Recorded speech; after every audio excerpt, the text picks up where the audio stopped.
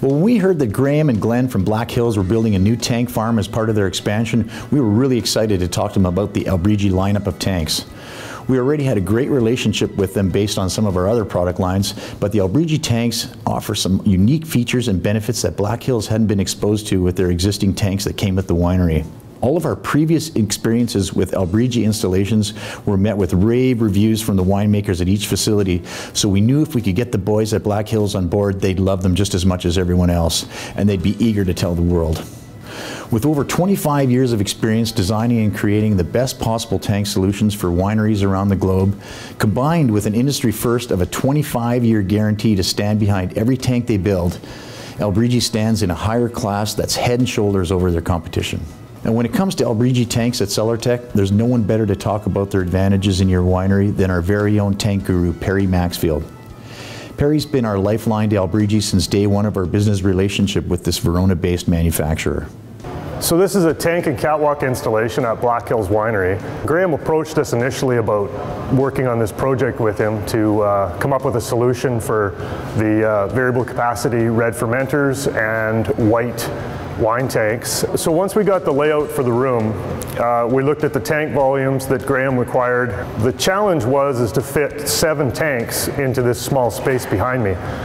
The, the design for the room came both from what the winery wanted and what we thought would help them in, in their day-to-day -day needs for winemaking.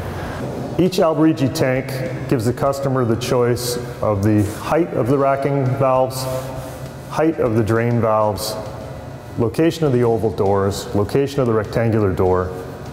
All the fittings can be positioned exactly where the customer needs them. We worked closely with uh, Giovanni Anselmi, the designer and drafting person at Albrigi, to come up with a, a measured drawing that would make sure that we could fit everything into this small space. One of the requirements of this installation was that we put a catwalk in between both rows of tanks. It was, it was challenging in that the catwalk needs to be of the right height for the workers to be able to functionally work below the catwalk and also work above on top of the catwalk, uh, moving in and around the tanks from above. This design worked perfectly and we were able to do this because of the high ceilings in this area. Cellar-Tek can engineer a solution whether it's a large installation or a small installation. Either way, we can help.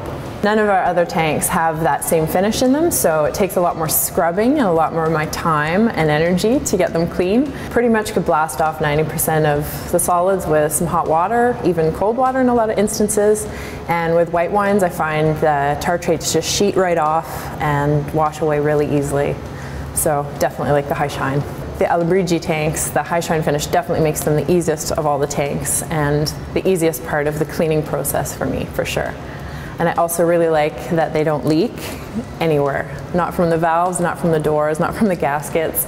And the lid doesn't leak air either, so definitely makes our quality of wine good, as well as my job as the cleaner really good.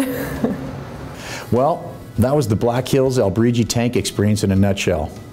If you're planning on adding a tank or two, or even a new tank farm in a whole new wing of your winery, give Perry and the team at Cellar-Tek a chance to shine up and smooth out the process for you. You won't regret your decision.